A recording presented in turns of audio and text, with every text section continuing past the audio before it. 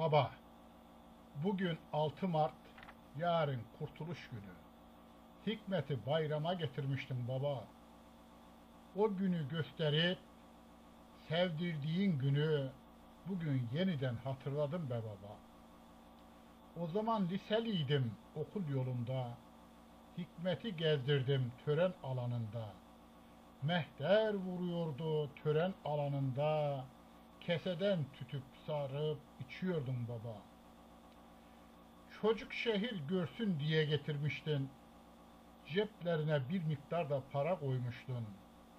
Gezerken tatlılardan alıp yesin demiştin.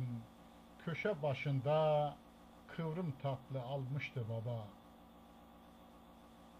Yıl 1977, güneşli bir gündü bayram. Tanışlar geçerken veriyordu selam. Fazlı Güvel de tütün isterdi tamam. Sigarasını sarıp iş diyordum be baba.